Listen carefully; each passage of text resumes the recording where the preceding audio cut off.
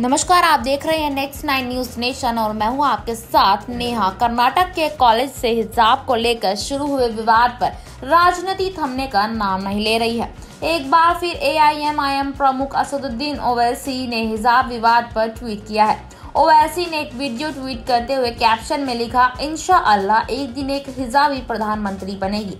Tweet किए गए video में ओवैसी कह रहे हैं, हम अपनी बेटियों को इनशा अल्लाह अगर वो फैसला करती हैं कि अम्मा अब्बी, मैं हिजाब पहनूँगी तो अम्मा अब्बा कहेंगे, बेटा पहन, तुझे कौन रोकता है? हम देखेंगे। हिजाब नकाब पहनेंगे, कॉलेज भी जाएँगे। कलेक्टर भी बनेंगे, बिजनेसमैन भी बनेंगे, एसडीएम भी बनेंगे और एक दिन इस देश एक बच्ची हिजाब पहनकर प्रधानमंत्री भी बनेगी।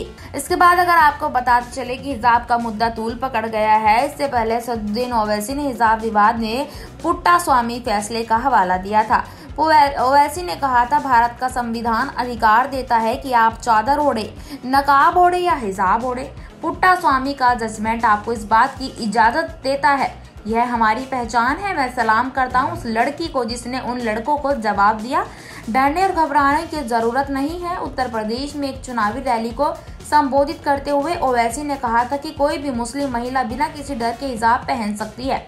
ओवैसी के बयान पर बीजेपी के प्रवक्ता राकेश त्रिपाठी ने निशाना साधा है। राकेश त्रिपाठी ने कहा असुद्दीन ओवैसी का ये मुगलता मुगलता ही रहेगा। जहाँ एक तरफ़ वह मुस्लिम महिलाओं को पर्दे में रखना चाहते हैं, ये उनकी तकियानोसी संकीर्ण और कट्टरपंथी सोच है।